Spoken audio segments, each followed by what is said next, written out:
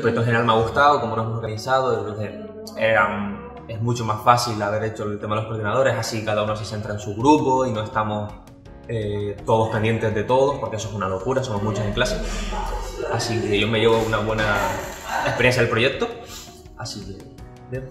Cuando nace la idea, cuando estamos todos haciendo un brainstorming, la parte de conservar, todo lo que es la parte artística, sinceramente es bastante gratificante porque cuando empiezan a probar o a darte feedback sobre tu trabajo es algo que verdaderamente mm, te llena de satisfacción pero al mismo tiempo te dan ganas de trabajar y mejorar. Bueno, por lo menos a mí me ha gustado hacer un primer videojuego para eso, para, para este grupo de, gente que, que, está en el mismo tema que yo. Eh, y sobre todo la parte de edición de vídeo es la que más me mola eh, a la hora de, de hacer videojuego, pero también me ha gustado hacer, proponer mis, mis propuestas de, texturas, el modelado y, que salgan en el videojuego.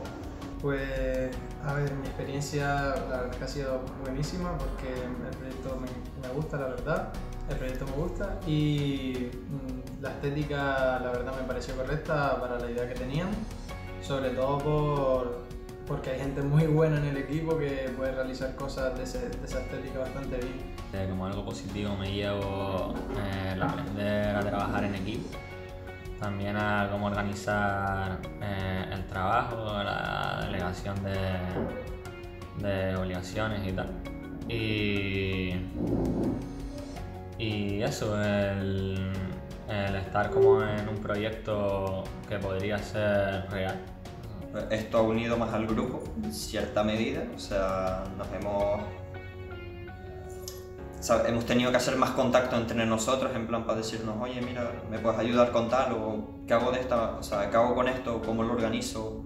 Eh, te lo envío y tú me ayudas a, ¿sabes? O sea, más contacto con el grupo, o sea, eso es lo que destacaría como positivo.